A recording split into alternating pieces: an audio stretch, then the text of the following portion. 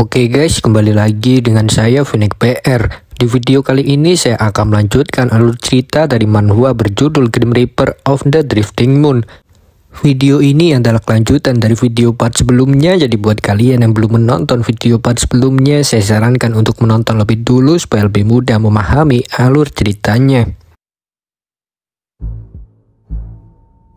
Oke, melihat sedikit sebelumnya, Beowulf akhirnya berhasil menyelesaikan dendam pertamanya membunuh Gunsang. Malam pun cepat berlalu setelahnya dan jelas saja keributan besar terjadi di sekte Jingseng. Lonceng alarm bahaya pun berbunyi dan seluruh murid pun langsung mengambil posisi siaga. Penjagaannya sangatlah ketat karena sang murid emas ditemukan tak bernyawa. Entah bagaimana berita kematiannya menyebar begitu cepat dan jelas saja mengetahui itu para tertinggi sekte pun sangat terpukul khususnya Jin Peyong yang merupakan ayahnya. Dia menangis bertanya-tanya mengapa bisa anaknya tewas. Tetua sekte pun juga merasakan kekecewaan yang begitu mendalam dan mulai menyalahkan dewa karena memberi cobaan begitu berat. Dan sementara itu pedang terkuat sekte pun kemudian menyarankan kepadanya untuk membunuh saja gadis yang bersama guncang yang sangat ketakutan di pojok ruangan. Begitulah ternyata Piowol tidak membunuhnya.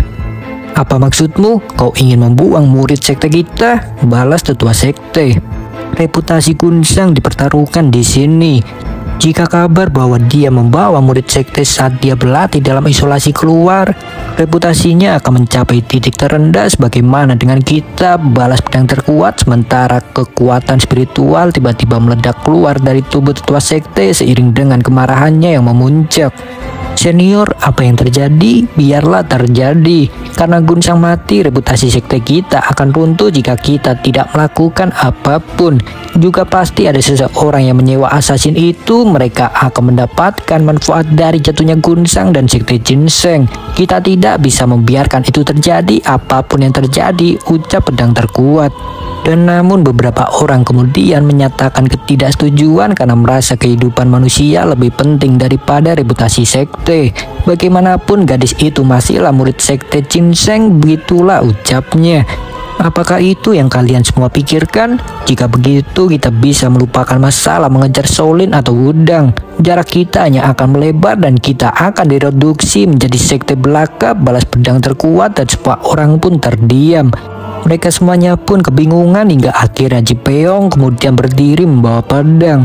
Tatapannya sangat suram dan dia pun kemudian mendatangi gadis tersebut yang terus menangis tanpa kata. Sebagai murid sekte kita, aku yakin kau mengertikan mengapa, mengapa kau harus bertahan sendirian. Kau seharusnya melindunginya dengan hidupmu, ucapnya.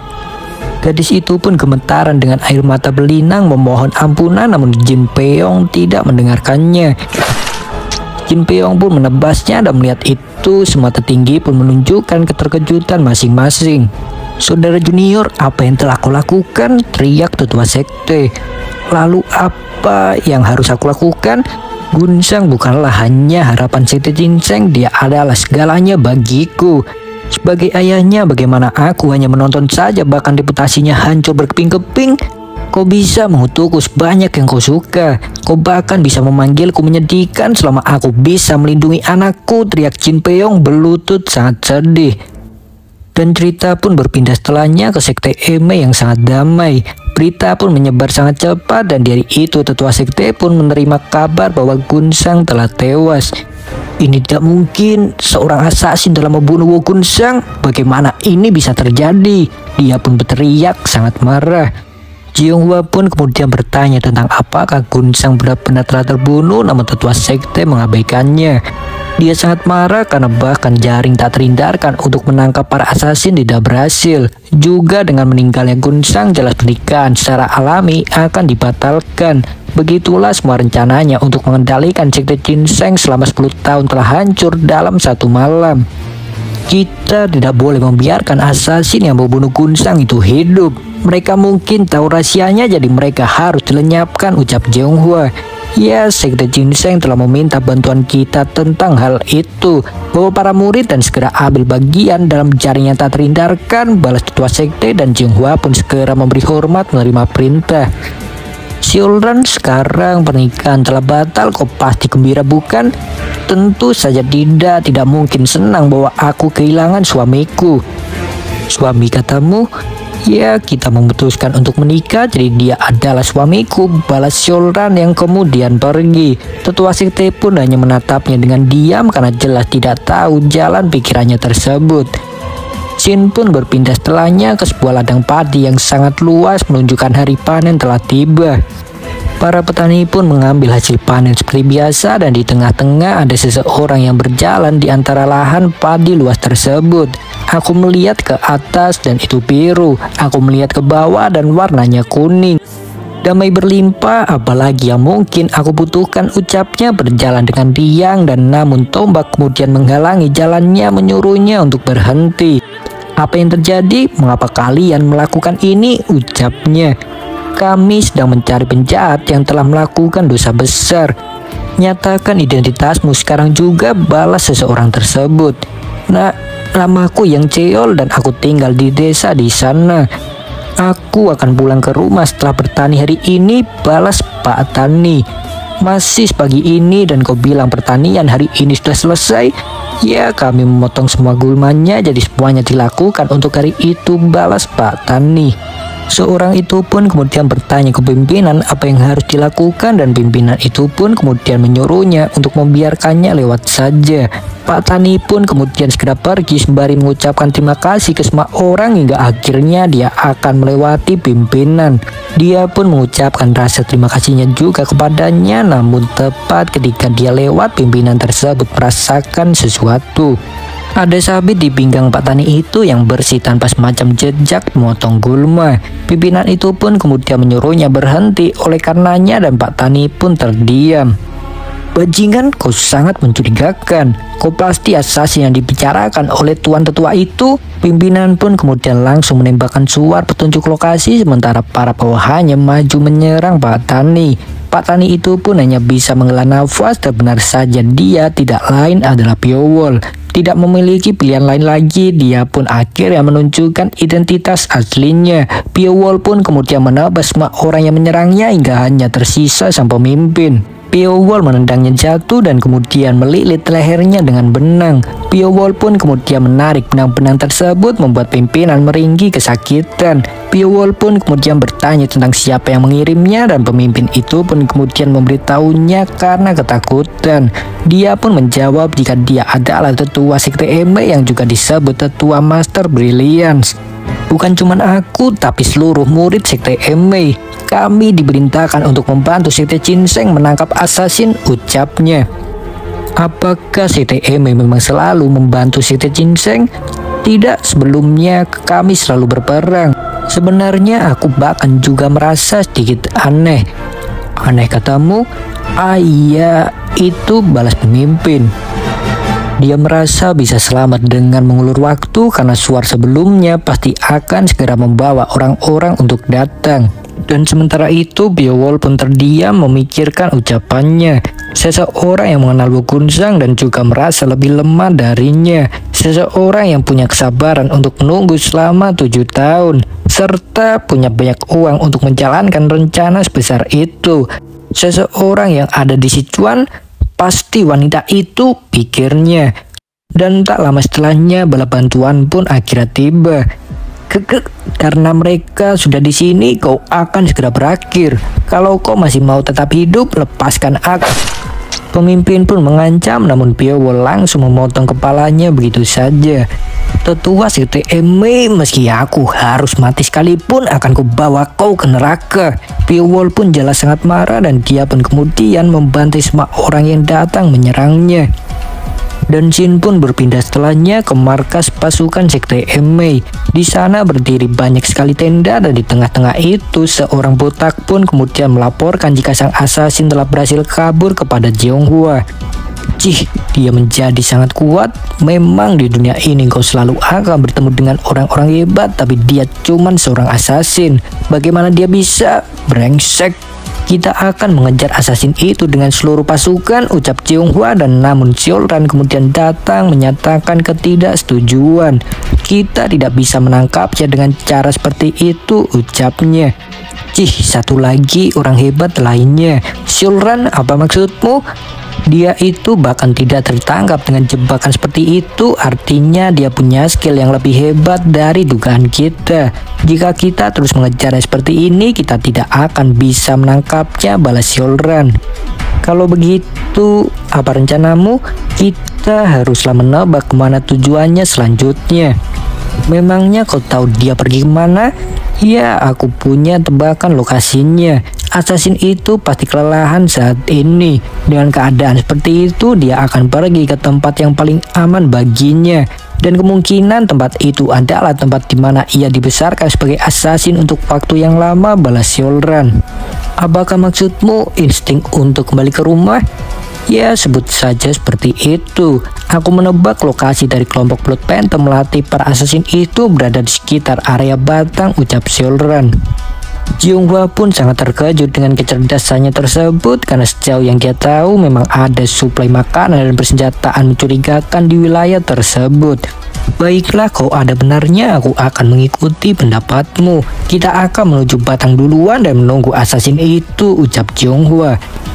Jin pun kemudian berpindah ke pasukan berkuda Sekte Jingseng yang melakukan pengejaran. Tepat di depan mereka, Piowol terus berlari kabur karena tubuhnya yang sudah terluka parah. Nampaknya dia telah melalui pertarungan yang panjang. Dia terus berlari hingga akhirnya sebuah tebing menutup jalan. Piowol pun kemudian berlari naik melewati tebing tersebut. Pasukan Sekte Jingsen pun segera menghujaninya dengan panah namun semuanya berhasil dihindari. Piowol pun akhirnya sampai di atas tebing dan seketika mereka itu juga menjadi sangat terkejut. Mereka memang ingin membunuhku dan aku bisa menghindar sejauh ini. Tapi bagaimana mungkin mereka bisa menebak aku akan pergi? Pikirnya. Dan benar saja apa yang menunggunya di depan adalah pasukan Sekte Eme yang dipimpin langsung oleh Seolran.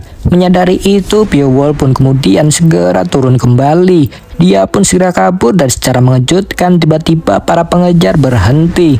Mengapa? Apa mereka menyerah atau dia walaupun tersentak karena tepat di belakangnya tanah meledak. Sebuah ledakan sangat kuat yang bahkan mampu membelah tanah menjadi dua dalam sekejap. Di balik debu terlihatlah seseorang yang baru saja mengayunkan pedangnya tidak lain adalah pedang terkuat Sekte Jingseng. Cih, aku mencoba membuka jalan namun malah tak bisa mengendalikan kekuatanku karena amarah. Kami harus bisa menangkapkan assassin itu hidup-hidup jika ingin mengambil informasi pikirnya. Segera temukan dia, dia mungkin masih hidup. Dia pun memberi perintah dan seluruh murid Sekte Jingseng pun segera bergerak. Di sisi lainnya, Jeonghua ternyata juga lah turut hadir. Dia mengamati dari atas dan dia pun dengan cepat menemukan keberadaan Pio Wall yang masih selamat. Matilah brengsek. Dia pun mengajukan mantra yang menghasilkan ledakan sangat kuat ke tanah sekitar Piowol. Temukan bajingan itu, kita tak bisa memaafkan apa yang telah dia lakukan. Cari dia ke mana saja dan temukan dia teriaknya. Sementara para murid Sekte yang tercengang begitu juga pedang terkuat. Dia senang karena mau tahu sang assassin masih hidup, namun begitulah dia tidak menyangka jika Hua akan menyerangnya dengan niat pembunuh begitu kuat. Waktu pun cepat berlalu setelahnya, entah bagaimana Piowol nampaknya berhasil kabur hingga akhirnya para murid Sete Jingseng menemukan sebuah sumur yang mereka yakini adalah pintu masuk ke ruang bawah tanah. Dengan cepat seluruh pasukan pun berkumpul dan pedang terkuat kemudian memberitakan para murid untuk segera masuk menangkap Piowol. Begitu juga di sisi lainnya, Jianghua juga segera menyuruh para bawahannya segera bergerak berniat membunuh Piowol. Mereka pun kemudian segera turun dan tepat sesampainya di dalam pedang terkuat pun menunjukkan keterkejutan karena apa yang ada di depannya adalah bangunan yang sama persis dengan Sekte Jingseng. Begitu juga bahkan Jiongwa juga sangat terkejut karena ternyata dia sama sekali tidak mengetahui bentuk latihan yang dilakukan oleh Blood Phantom termasuk tempat mereka melatih. Keributan pun jelas saja muncul dari kubu Sekte Jingseng ketika mereka mengetahuinya. Mereka yakin jika ada kelompok yang membantu Blood Phantom untuk menyusun bangunan Sekte Jingseng. Terlihat seperti sudah direncanakan dengan sangat lama bagi mereka dan pedang terkuat pun tiba-tiba tertawa sangat keras seiring dengan kekuatan spiritual yang meledak menunjukkan betapa marahnya dia.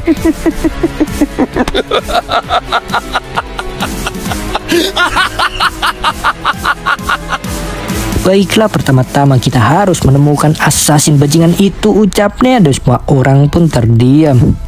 Apa kalian paham brengsek? Temukan bajingan itu. Pedang terkuat pun berteriak semakin keras dan seluruh murid pun segera memberi hormat begitu juga Jeonghua.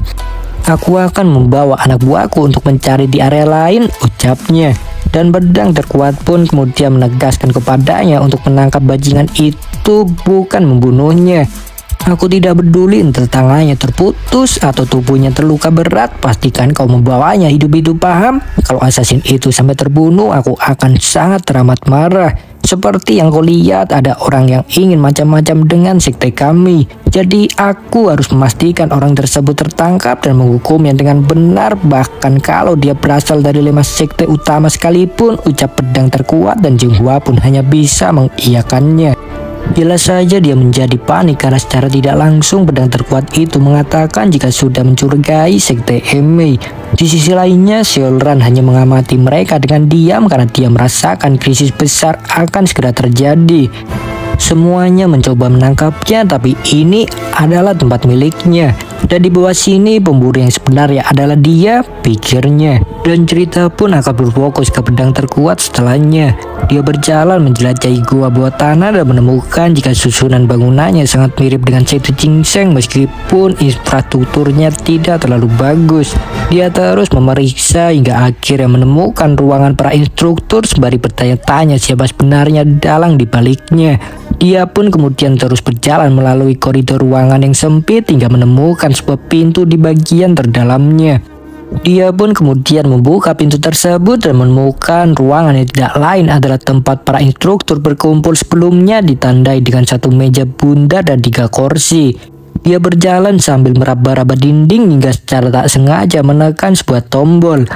Di baliknya ada sebuah ruang kecil dengan sebuah gulungan emas yang tidak asing. Dia pun membukanya dan benar saja apa yang ada di dalamnya adalah surat permintaan pembunuhan Gunsang terhadap Lord Phantom. Melihat itu pun pedang terkuat jelas sangat marah. Mereka ingin menghancurkan masa depan Siti Jingseng hanya untuk 50 ribu emas. Brengsek semua ini tidak akan kumaafkan teriaknya seiring dengan meledaknya kekuatan spiritual dalam dirinya.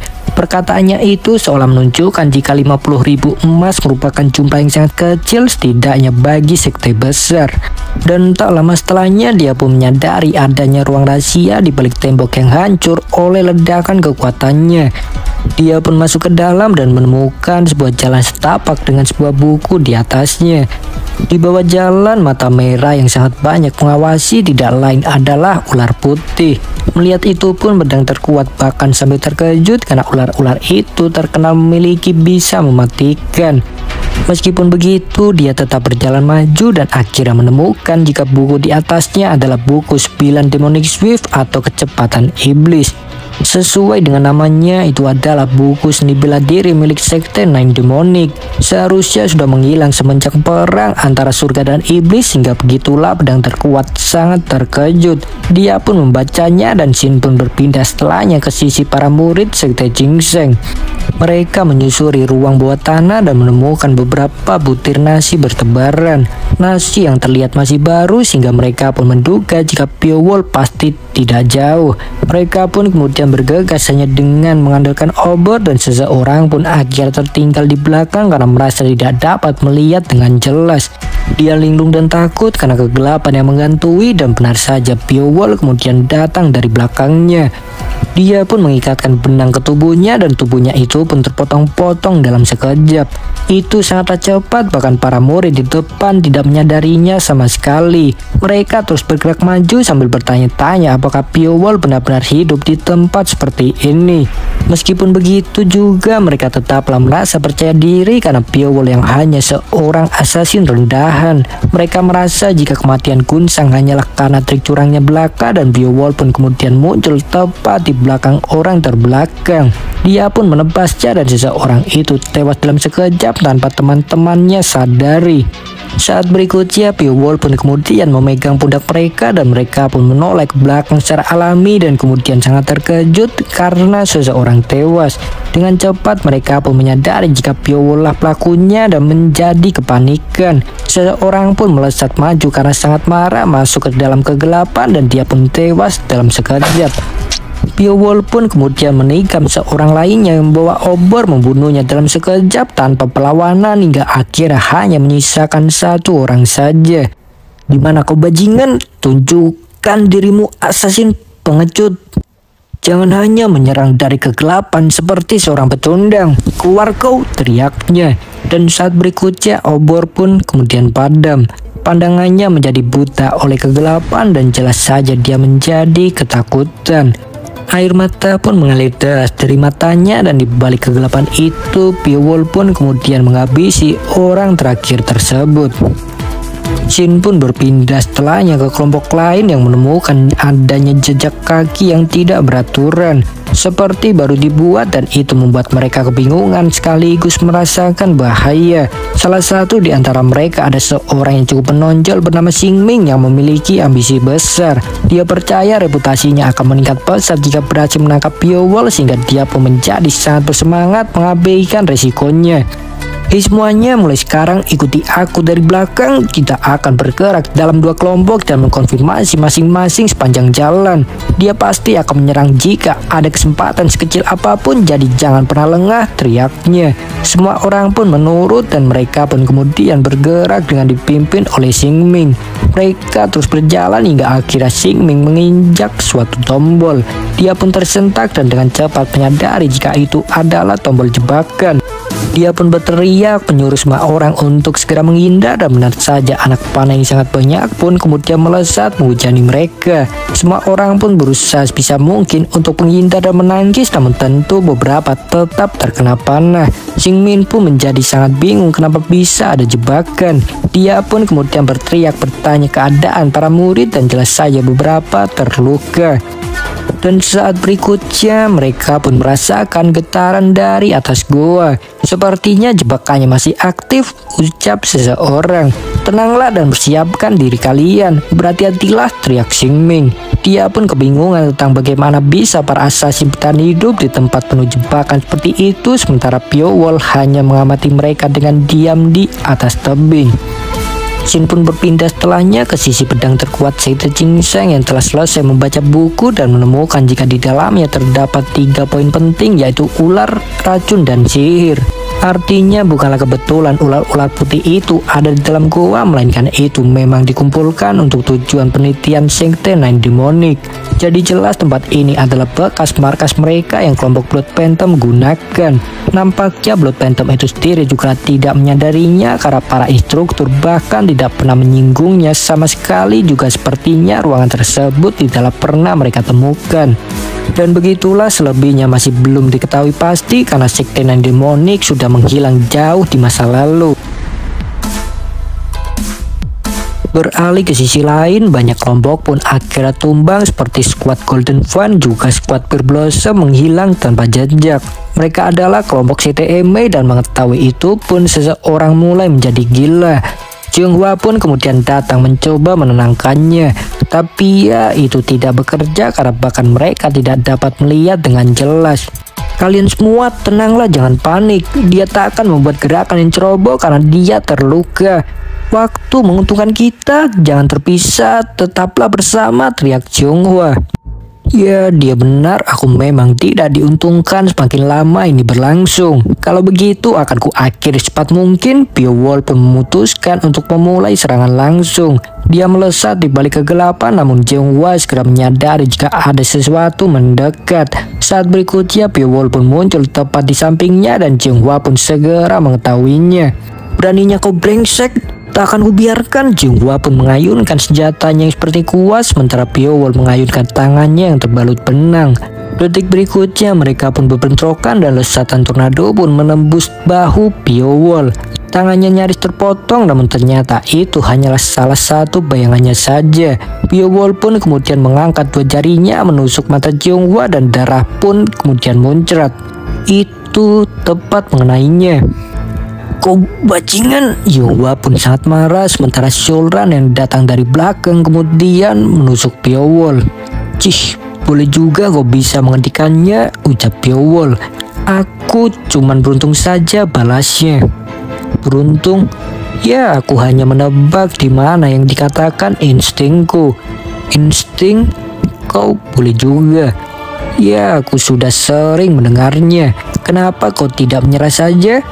Menyerah? Biowol pun tertawa dan kemudian berbalik melemparkan benang-benang yang terlilit di tangannya ke arah Shulran. Shulran pun segera melompat mundur menghindar dan Biowol pun memanfaatkan kesempatan untuk mundur. Setelahnya dia pun mencabut pedang yang menusuk tubuhnya dan berbalik menatap Shulran.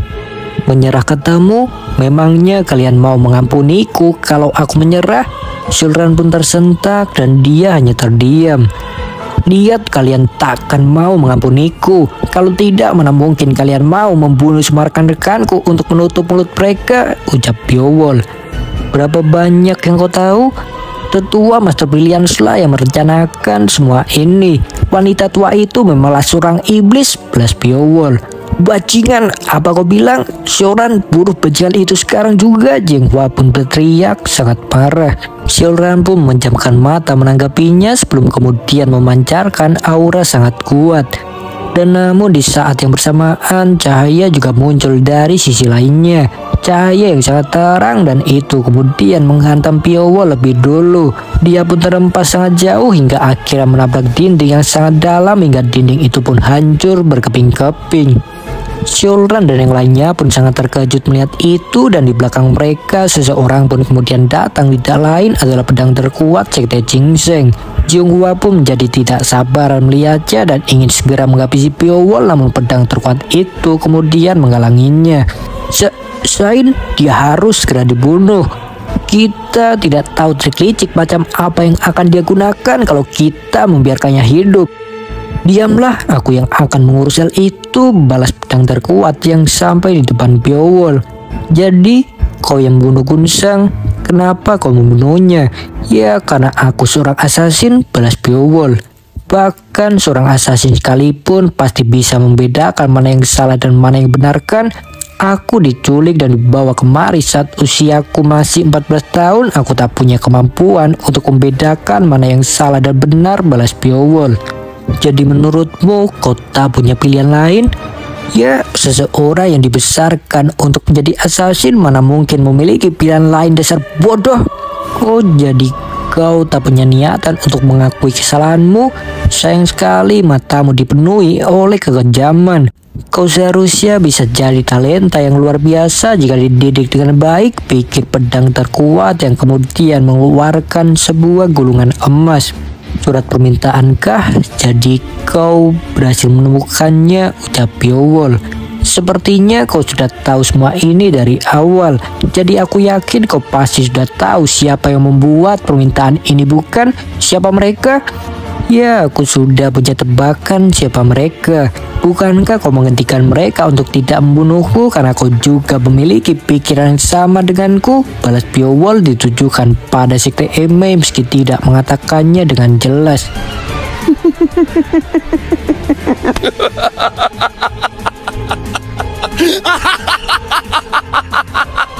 Beowulf pun tertawa terbahak-bahak sementara pedang terkuat tentu saja jelas sudah menyadari maksudnya. Dan tak lama setelahnya pun Xing Ming dan yang lainnya kemudian datang.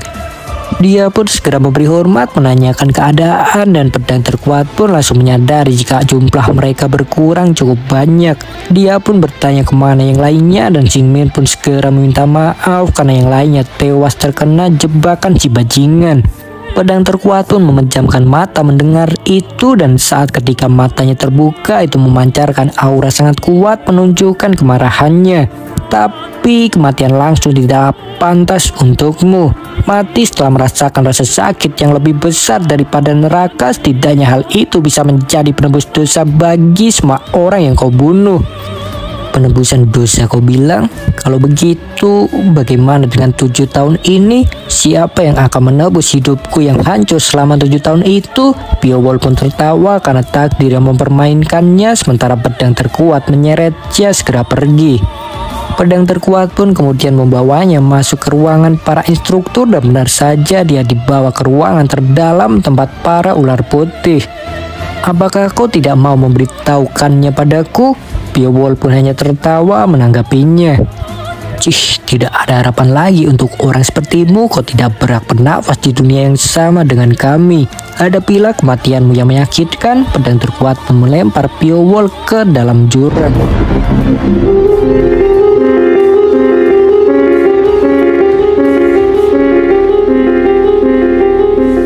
Dia pun kemudian segera pergi berniat menutup gua setelahnya supaya tidak bisa digunakan lagi sementara Piowol terjun bebas dan akhirnya sampai di atas kumpulan ular putih yang sangat amat banyak. Ular-ular itu pun menggigit seluruh tubuhnya. Rasa sakit jelas tidak terbayangkan namun Piowol ternyata dapat bertahan. Dia pun membuka matanya dan jelas masih hidup meskipun bisa ular menyebar ke seluruh tubuhnya. Apa dia kira melemparkanku ke sarang ular akan membunuhku? Piowol pun tertawa sementara seekor ular merayap melalui tubuhnya. Dan dia pun kemudian mengambil ular tersebut. Dia pun kemudian memakainya tanpa ragu dengan satu alasan supaya dapat bertahan hidup. Dan waktu pun cepat berlalu setelahnya dan hanya ada satu ular tersisa di jurang. Ular itu pun menggeliat menghampiri Piowol yang rambutnya sudah memutih. Ular itu pun kemudian mendekat tepat ke wajahnya dan Piowol pun memakannya. Piowol pun tersenyum sangat mengerikan seiring dengan jari-jarinya yang menggeliat. Jari-jarinya itu juga bakal menjadi jauh lebih panjang berbanding terbalik dengan kakinya. Rambutnya pun juga tumbuh menjadi sangat panjang melebihi tubuhnya sendiri mengartikan jika bertahun-tahun telah berlalu. Cerita pun berpindah setelahnya ke dunia luar di sebuah kota bernama Kota Batang. Itu tidak lain adalah wilayah dekat gua para assassin dilatih dan di suatu ketika seseorang terhempas keluar dari sebuah bangunan lantai kedua di kota tersebut. Sudah aku bilang kan, aku akan beristirahat selama tiga hari penuh. Selama itu jangan menggangguku, ucap orang di dalamnya yang tidak lain adalah Piowol yang sedang bersenang-senang dengan seorang gadis dan tepat di depannya ada dua orang pria dan seorang wanita. Mereka jelas sangat ketakutan melihat Piowol karena serangan barusan adalah hal yang tidak pernah mereka lihat. Bajingan, apa kau pikir kau masih bisa selamat setelah berurusan dengan ahli bela diri Chongwan? Teriak seseorang. Chongwan, ini pertama kalinya aku mendengar nama itu. Piowol pun kemudian melemparkan benang melilit leher kedua orang di depannya dan keduanya pun jatuh lemas tak berdaya. Dia mengalahkan ahli bela diri Cheung Wan cuma dengan menggerakkan tangannya. Memangnya ada ahli bela diri skuad ini di Sichuan? Dia tidak normal pikir seorang gadis tersisa. Dia pun segera memohon ampunan meminta maaf. Saya akan mengurus Anda saat istirahat. Tolong maafkan kelancangan kami kali ini, ucapnya. Dia sangat ketakutan karena terlebih lagi mata Piowol sangat mengerikan. Bagaimana bisa seseorang bisa memilikinya? Aku merasa ditatap oleh binatang buas, pikirnya. Baiklah tiga hari aku berharap tidak ada yang menggangguku lagi balas Piowol yang kemudian melepaskan kedua orang di depannya. Sang gadis pun kemudian memanggilnya Master bertanya siapa namanya dan Piowol pun menjawab jika dia adalah Piowol. Ya begitulah entah apa yang terjadi sebenarnya. Nampaknya Piowol sudah ketularan oleh Gunsang sehingga begitulah dia mencari seorang gadis begitu keluar. Apa pun itu, tiga hari pun cepat berlalu setelahnya dan Piowol pun kemudian keluar rumah.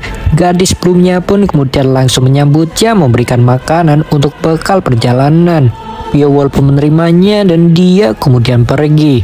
Xiao Liang, siapa dia sebenarnya? Xiao Liang pun menjawab jika dia hanyalah tamu. Apa kau tahu siapa dia? Xiao Liang pun terdiam. Nampaknya dia hanyalah gadis biasa saja. Jadi apakah itu sebuah rumah bordir? Entah mungkin saja. Yang jelas orang gadis di sampingnya itu jelas menyadari jika Piowol itu memiliki kekuatan luar biasa seperti seorang malaikat kematian. Waktu pun cepat berlalu setelahnya dan Piowol pun kemudian berteduh di sebuah rumah karena hujan. Tujuh tahun ternyata telah berlalu semenjak dia dijatuhkan ke sarang ular sehingga begitulah dia merasa aneh berada di luar. Tapi tak sedikit pun kulupakan apa yang terjadi di masa lalu. Dan jika aku tak bisa melupakan masa lalu, aku takkan bisa melangkah maju. Sekte Seng dan Sekte Emei, aku bisa mendapatkan informasi mengenai mereka kalau aku pergi ke Chengdu, pikir Piowol.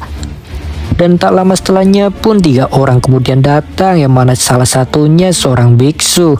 Mereka terus ribut sepanjang jalan entah karena apa dan mereka pun kemudian berteduh. Sang gadis pun kemudian menyalahkan seorang gondrong karena membuat pakaiannya basah akibat tersesat sementara sang biksu hanya bisa terdiam merasa tertekan karena harus bersama dua orang tersebut. Dan tak lama setelahnya pun mereka akhirnya menyadari jika ada seseorang lain yang juga berteduh. Seseorang yang tidak lain adalah Piowol. Sang gadis pun langsung terpana akan ketampanannya dan si gondrong pun menggodanya. Dia menyuruhnya mengucapkan terima kasih karena membuatnya tersesat dan sang gadis pun berteriak menyuruhnya diam. Baiklah kita berteduh di tempat yang sama biarkan kami memperkenalkan diri. Namaku Horanju, ucap sang gadis. Piowol pun kemudian membalas memperkenalkan dirinya yang bernama Piowol dan Ranju pun kelepek-kelepek dibuatnya. Si Gondrong pun kemudian memperkenalkan dirinya yang ternyata bernama Godosa dan sang biksu bernama Hyulseng. Jadi, kau mau ke mana opa? Piwol pun menjawab jika ingin pergi ke Cendu. Dan kebetulan ternyata tujuan mereka sama. Ranju pun menawarkan untuk pergi bersama dan Piowol pun terdiam sejenak berpikir. Menurutnya mereka adalah kelompok yang cukup unik namun bagaimanapun mereka semuanya adalah ahli bela diri yang siap siaga menyerang kapan saja. Dan apakah ketua mereka adalah Ranju? Sejujurnya dia tidak terlihat seperti seorang pemimpin. Sepertinya kelompok mereka disatukan oleh tujuan besar. Aku penasaran dengan tujuan mereka, pikir Piowol yang kemudian menerima tawaran dari Ranju. Malam pun cepat berlalu setelahnya dan mereka pun akhirnya sampai ke sebuah pelabuhan. Untungnya pelayaran berikutnya akan datang setengah jam lagi sehingga bisa dikatakan mereka beruntung karena datang di waktu yang tepat. Namun meskipun begitu juga Ranju nampak kecewa karena kapalnya adalah kapal barang yang tidak nyaman dan dosa pun kemudian menyuruhnya untuk bersyukur saja. Ngomong-ngomong obat tampan ada urusan apa di Chengdu? Aku, aku ingin bertemu dengan beberapa orang saja di sana balas Piowol. Beberapa orang siapa? Para debitur. Apa opa berutang pada mereka? Tidak, mereka lah berutang padaku. Jadi kalian semua kenapa pergi ke Chengdu? Ranju pun menjawab untuk bisnis. Piowol pun bingung karena mereka tidak membawa barang dan Ranju pun menjelaskan jika bisnis itu bukanlah hanya tentang barang saja. Dan dosa pun kemudian bertanya tentang apakah Piowol tidak berpergian dengan biksu. Piowol pun menjawab jika tidak punya dan dosa pun sangat terkejut begitu juga dengan Ranju dan Hyulseng. Piowol pun bertanya memangnya ada masalah dengan itu dan mereka pun terdiam. Piowol kemudian menyendiri di tepi kapal memperhatikan sekitar sementara kapal akhirnya pergi berlayar. Dan tak lama setelahnya Ranju pun kemudian mendatanginya. Obat tampan sedang melihat apa? Apakah kau sedang memikirkan sesuatu? Ucapnya. Piowol pun kemudian menyuruhnya untuk segera pergi saja jika hanya ingin menggoda dan itu justru membuat Ranju semakin senang karena dipermainkan oleh obat tampan. Melihatnya Hyolseng yang sedang minum sake pun menjadi takut akan terjadi masalah. Namun berbeda dengannya, Dosan nampak tidak peduli. Apa kau pikir wanita itu bisa ditaklukkan oleh pria? Semua pelakuan itu sudah dia rencanakan. Dia bermain-main dan menggoda lelaki untuk keuntungannya sendiri seperti laba-laba yang menunggu mangsanya. Dan juga pria itu memang cukup mencurigakan. Dia tipe orang yang pendiam jadi wanita pikir dia harus sedikit bekerja lebih keras untuk melakukannya ucap dosa. Dan setelahnya di tengah perjalanan sebuah kapal lain kemudian muncul di depan mereka. Kapal kecil namun semua orang di atas yang memegang senjata dan berniat melakukan penjarahan. Mereka tidak lain adalah sekelompok bandit sehingga melihat itu awak kapal Piowol pun kemudian segera berteriak menyuruh semua orang bersiap. Keributan pun terjadi dengan cepat dan di tengah-tengah itu Dosa kemudian menawarkan bantuan. Dari belakangnya Hyul pun kemudian langsung bergerak melesat terbang mendatangi para bandit. Dia pun kemudian langsung menggajar para bandit-bandit tersebut dengan tongkat. Para bandit pun tidak terima dengannya dan langsung menyerangnya bersama-sama namun Hyulseng dapat melangkis semua serangan mereka sekaligus. Melihat itu pun seluruh awak kapal sangat tercengang akan kemampuannya yang luar biasa dan dosa pun langsung memeluk tertawa. Lihat bukan, ubah kami cuma 500 ekor saja ucapnya mengambil keuntungan. Kembali ke sisi Yulseng yang menahan musuh, dia pun kemudian mengantamkan tongkatnya ke kapal. Itu menghasilkan getaran sangat kuat yang bahkan mampu mengangkat para bandit. Dia pun kemudian langsung menyerang bandit-bandit tersebut satu persatu hingga semuanya tumbang dalam sekejap menyisakan pimpinan mereka. Dia menangis di pojokan sangat ketakutan dan Hiu Seng pun kemudian melepaskannya. Nampaknya dia tidak membunuh satupun dan dia pun kemudian kembali. Dosa pun menyambutnya dengan tawa karena berhasil mendapatkan imbalan dan Hiu Seng pun hanya terdiam.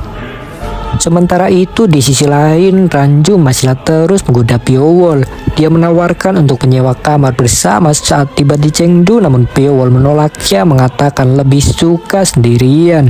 Dan namun itu justru membuat Ranju semakin senang karena tatapan dinginnya yang sangat keren. Melihat itu pun Dosa dan Song menjadi bertanya-tanya bagaimana jika pria itu benar-benar tergoda namun dengan cepat juga menjadi ragu karena sadar jika Piowol bukanlah orang biasa. Matanya jelas menunjukkan jika dia telah melalui neraka pikir mereka. Di sisi lain, Ranju pun akhirnya mulai menangis karena terus ditolak. Piowol pun mengatakan jika tidak menyukai mawar beracun meskipun sangat indah sekalipun mengartikan jika dia menyadari bahwa Ranju adalah mawar. Indah tapi penuh duri di dalamnya. Dan menanggapi itu pun Ranju justru menjadi senang karena secara tidak langsung Piowol mengakui kecantikannya. Dia pun tertawa entah apa tujuannya sebenarnya dan Piowol pun mengabaikannya. Orang-orang ini menjual jasa mereka dengan imbalan uang. Mereka barusan bertindak untuk menunjukkan kemampuan mereka dan ingin diakui.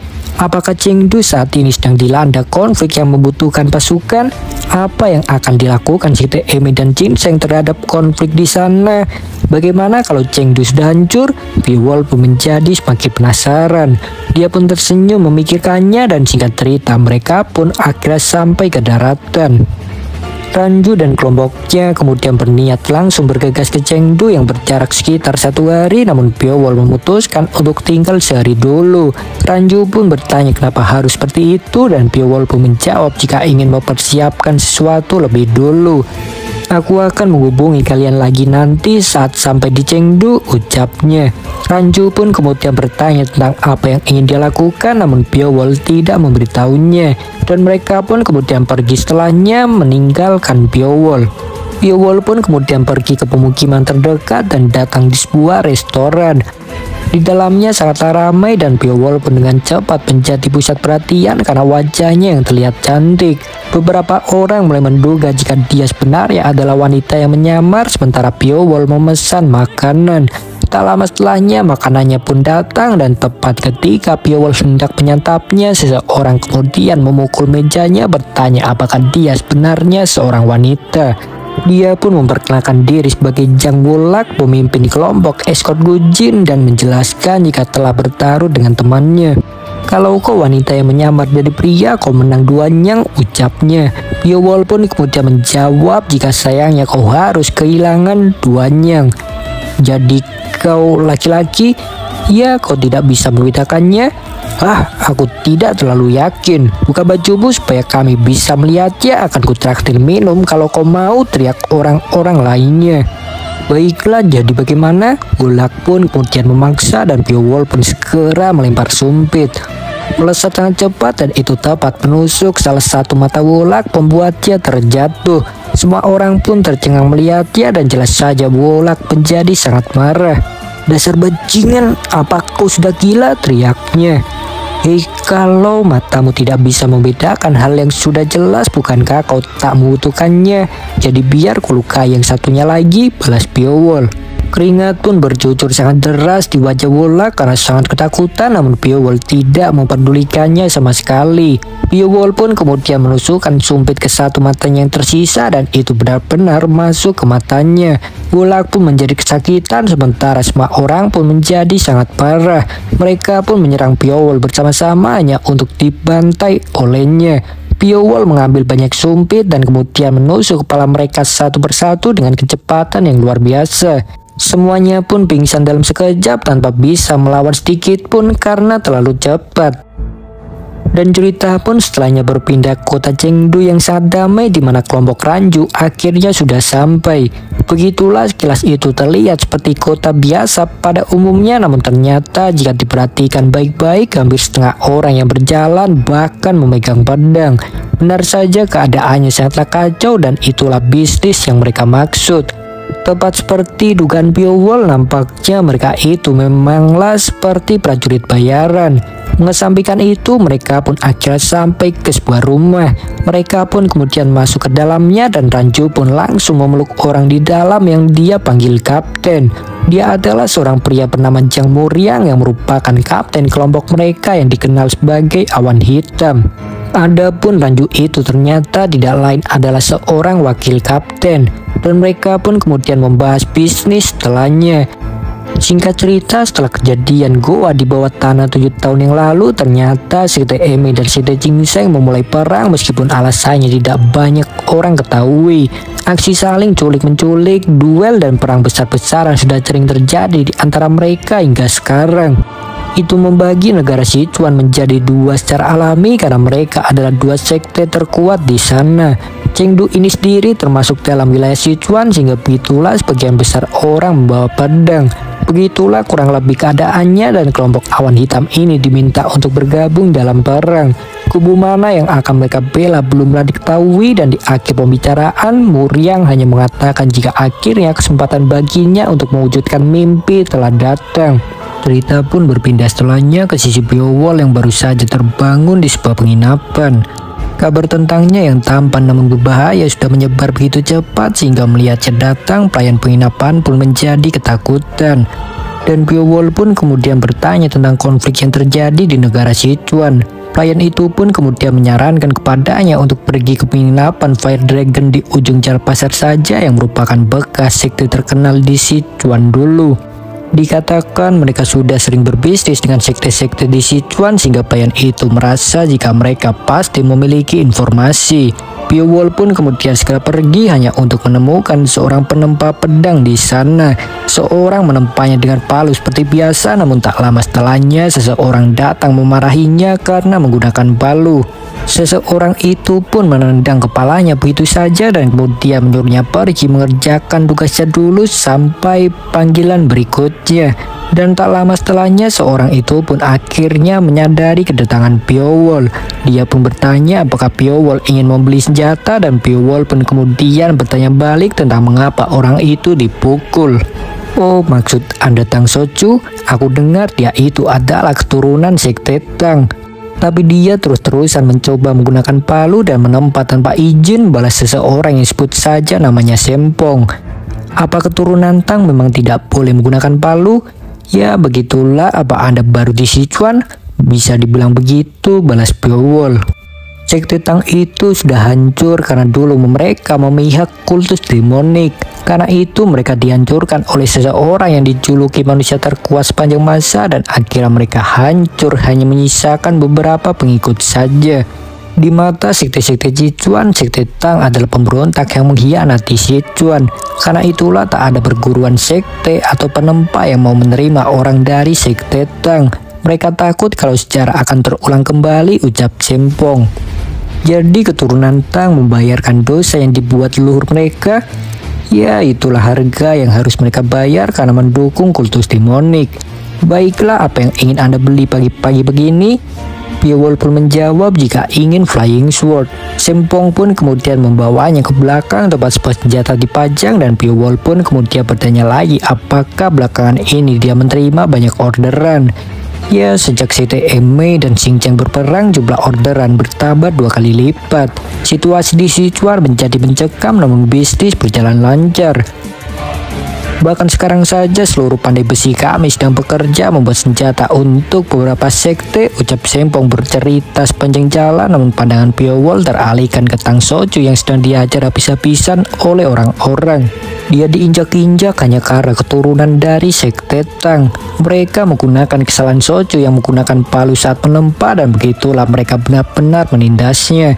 Soju pun tentu menjadi sangat marah oleh karenanya. Sorot matanya menunjukkan dendam yang sangat membara. Dan kebetulan tepat di depannya ada pisau yang seolah dijatuhkan dengan sengaja. Tangannya pun kemudian hendak meraih pisau tersebut dan terlihatlah Pio Wall berdiri tepat di depannya. Manusia memang lebih kejam dari binatang buas. Saat seseorang tak mempunyai harga diri, mereka akan dimanfaatkan, dihina dan disiksa sampai kematian menjemputnya. Dan kalau kau membiasakan dirimu untuk pasrah, kau akan hidup lebih rendah daripada anjing seumur hidup. Bagaimana kau ingin menjalani kehidupanmu? Ucap Wall menatap Socu mengabaikan semua orang yang menyuruhnya diam. Oi, apa kau tuli brengsek kau tak mendengar perkataanku? Teriak seseorang dan Socu pun kemudian melompat menggigit lehernya. Bajingan, apa yang kau lakukan? Seseorang itu pun berteriak namun terdiam dalam sekejap ketika Soju menodongkan pedang tepat di depan matanya. Apa kau sudah gila brengsek? Kenapa kau menggigitnya? Memangnya kau binatang? Ucap orang-orang lainnya dan Soju pun kemudian menggigit leher seseorang tersebut hingga pingsan. Sejak kapan kalian pernah memperlakukanku seperti manusia? Kalian menganggapku lebih hina dari anjing balas Soju. Kau Kau tak akan bisa kabur dari masalah ini. Semuanya pasti akan memburu dan mengejarmu, balas orang-orang lainnya. Ya terserah kalian, aku lelah berpura-pura lemah dan dihajar oleh bajingan seperti kalian. Ingatlah ini brengsek, aku akan menggorok leher orang-orang yang berani macam-macam denganku, balas Soju. Sial, tunggu saja kau anjing, kami tidak akan membiarkanmu begitu saja. Orang-orang itu pun kemudian pergi. Socupu menatap mereka dengan tajam namun tak lama setelahnya keseimbangannya pun mulai goyah. Dia pun terjatuh namun Piowol segera menangkapnya. Dan kemudian Piowol pun mengantarnya ke rumah. Rumah sederhana yang nampak biasa saja namun jelas terlihat sangat baik di mata Piowol. Apa maksud bagus? Kau mengejekku? Tidak, tempat ini memang lumayan bagus. Aku tinggal tujuh tahun dikelilingi ular berbisa yang tak terhitung jumlahnya, balas Piowol. Jangan berbohong, kau kira aku orang bodoh yang percaya dengan bualan seperti itu? Ya terserah kau saja, aku harus pergi ke suatu tempat, balas Piowol. Socu pun bertanya ke mana dan Piowol pun bertanya balik apakah dia memang selalu penasaran dengan urusan orang lain. Bukankah kita lumayan mirip dalam hal itu? Ya, kurasa kau ada benarnya. Benarkah Ya ada seseorang yang harus kubalaskan Orang-orang yang meninggalkan dan memburuku balas Piowol Jadi kau ingin balas dendam? Siapa mereka?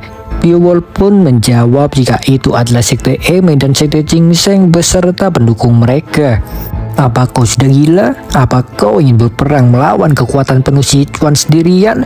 Jelas saja Soju sangat terkejut. Mungkin benar aku sudah gila.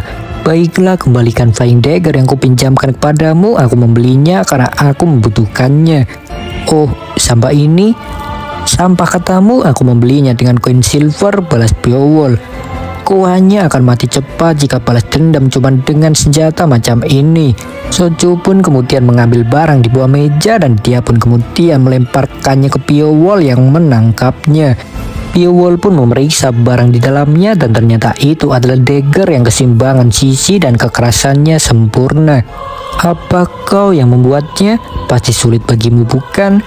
Sulit apanya? Aku cuman tak punya waktu untuk membuatnya saja dan hanya bisa membuatnya diam-diam. Tapi membuat benda itu sama sekali tidak sulit balas Socu. Apa tak masalah kalau kau memberikannya padaku? Ya, bukankah kau ingin balas dendam pada sekte Jinseng dan Emei? Lagi pula mereka juga lah salah satu penyebab sekte Tang jatuh seperti ini. Memang benar pendahulu sekte Tang bodoh itu salah, tapi aku tetap tidak bisa memaafkan sekte Jinseng dan Emei yang sudah menindas dan mengasingkan keturunan sekte Tang hingga hancur seperti sekarang ini. Dan juga kau adalah orang pertama yang mengatakan kepadaku untuk melawan, ucap Soju dan Piowol pun hanya tersenyum dan dia pun kemudian mengangkat dejer-dejer itu mencobanya. Totalnya ada delapan dan Piowol pun kemudian melesatkan semuanya.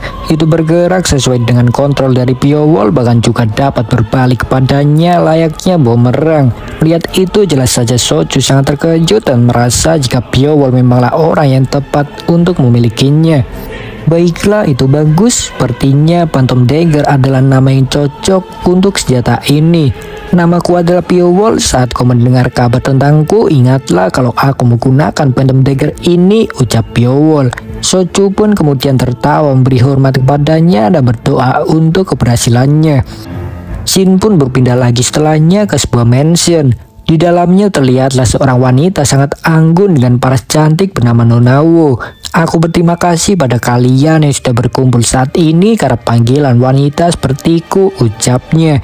Dan benar saja sesuai dengan perkataannya banyak pria duduk di depannya bersedia mengikutinya sampai mati karena terpana akan kecantikannya. Keadaan 100 bunga saat ini sedang sulit karena tekanan dari Sekte Jingseng. Tapi aku bersyukur karena kalian semua melakukan yang terbaik untuk menolong. Terima kasih banyak, ucap Nonawo. Kami akan melindungi 100 bunga tak peduli sekuat apa pun sekte gingseng. Mereka tidak akan punya kekuatan sampai ke Chengdu. Para pria pun berteriak meminta Nona Wo jangan khawatir. Nona Wo pun menangis tersentuh mendengarnya dan dia pun mengucapkan terima kasih meski jauh dalam lubuk hatinya menganggap mereka sebagai sekumpulan pria bodoh saja. Ngomong-ngomong, Sekte Eme sudah meminta kita untuk bergerak karena Sekte Jingseng sedang melakukan pergerakan yang mencurigakan. Mungkin aku tak bisa menghadiri pertemuan berikutnya, ucap Nonawo. Dan semua pria pun langsung memintanya untuk ikut membantu Sekte Eme. Mendengar itu pun air mata mengalir di wajah Nonawo meski hatinya berbunga-bunga sangat gembira. Ya, dia adalah seorang perbuka dua yang ternyata suka memanfaatkan pria bodoh. Adapun ternyata dia juga memiliki ambisi besar untuk menguasai sekte Emei. Dia pun kemudian memimpin orang untuk pergi dan tepat sesampainya di lantai pertama dia pun bertemu dengan Piowol yang kebetulan sedang makan di sana. Mata merahnya yang menyarat terang sangat indah di matanya dan dia pun kemudian segera berlari mendatanginya membuat para pria cemburu. Aku rasa ini adalah pertemuan pertama kali kita bukan? Sebagai rekan sebangsa mari kita saling mengenal. Namaku Ha dari Sekte Hundred Flower. Maaf, apa aku boleh tahu namamu? Piwol pun memperkenalkan dirinya. Seunha pun kemudian bertanya apakah dia seorang ahli bela diri dan Piwol pun menyuruhnya untuk berpikir semaunya saja. Apa maumu? Ah, apa ada alasan kenapa kau tidak memberitahunya? Balas Seunha. Apa kau memang selalu memaksa setiap kali bertemu dengan seseorang? Balas Piowol dan seorang pengikut Sionha pun menjadi tidak terima. Dia menyuruh Piowol segera meminta maaf hanya untuk membuatnya menjadi marah. Pria itu pun kemudian menyuruh Piowol segera berlutut mengancam membuatnya semakin marah. Takkan membiarkanku begitu saja kah? Ada batasannya seorang bisa menjadi bodoh karena seorang wanita. Setidaknya kau lihat dulu lawanmu siapa, Belas Piowol dan seorang pria bernama Kang Du itu pun menjadi sangat marah. Ia pun kemudian segera meminta pedangnya dan seseorang pun mengantarkannya. Beraninya kau menghina aku brengsek, tak bisa dimaafkan Kang Du pun mengayunkan pedangnya. Itu tepat melesat ke kepala Piowol namun dia mampu menghindarinya dengan sangat mudah dengan sedikit mundur ke belakang. Kang Du pun sangat terkejut karena Piowol mampu menghindarinya meski sudah mengerahkan segenap tenaga terlebih lagi dia Piowol juga hanya bergerak sedikit dari jangkauan serangannya. Bangsat, dia benar-benar meremehkanku. Kemarahan Kang Du pun mencapai puncaknya dan dia pun kemudian menggunakan teknik pedang Thunderstorm andalannya yang menyemuti pedangnya dengan guntur itu biasanya digunakan untuk membunuh seseorang sehingga melihat itu pun orang-orang sangat terkejut. Kang Du pun kemudian melesat menusukkan pedangnya namun Piowol menanggapinya dengan sangat santai. Dia menyisir rambutnya tepat ketika serangan datang dan lagi-lagi dia menghindar dengan sedikit gerakan dengan saja.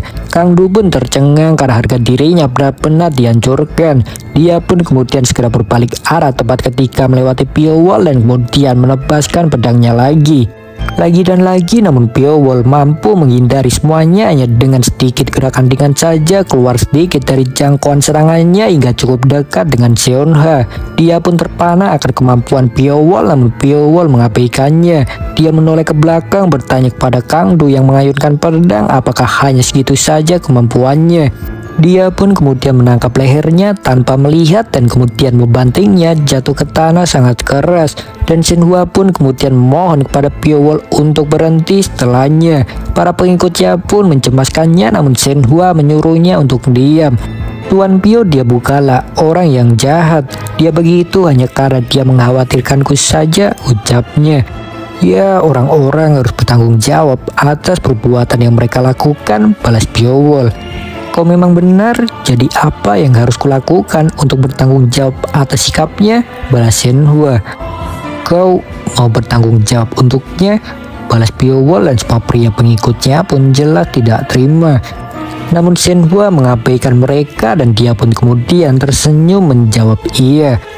Beowulf sendiri sepenuhnya sadar jika Shenhua itu adalah seorang licik yang sangat membanggakan dirinya namun Beowulf tetap menerimanya karena parasnya menawan. Dan begitulah mereka pun kemudian menyewa sebuah kamar. Waktu pun cepat berlalu dan setelahnya Shenhua pun kemudian mengajukan satu permintaan kepada Beowulf Beowulf pun kemudian menjawab tergantung apa permintaannya dan Shenhua pun menjelaskan jika dia ingin membunuh Nam Hun Tuan muda dari klan Thunder. Belum lama ini leader klan Thunder Yen Ho mengusulkan pernikahan antara aku dan tuan muda mereka. Mereka mengancam kami akan membantu Sekte Seng kalau kami menolak. Karena itu Sekte Hundred Flower dan Sekte Emei berada dalam situasi sulit. Shenhua pun kemudian menjanjikan hadiah besar dan memujinya di depan bibinya jika berhasil dan Beowulf pun kemudian bertanya memangnya siapa bibinya itu. Hua pun menjawab jika dia adalah salah satu murid terbaik CTM yang seorang master pavilion bernama Hua. Wol pun jelas mengingat Cakara hampir membunuhnya di masa lalu dan dia pun tertawa mendengar itu.